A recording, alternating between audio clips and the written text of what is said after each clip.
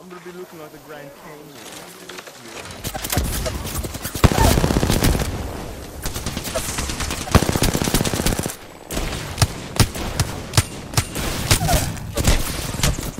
Fuck, I just took two of them out and then I died. God damn, that was so good.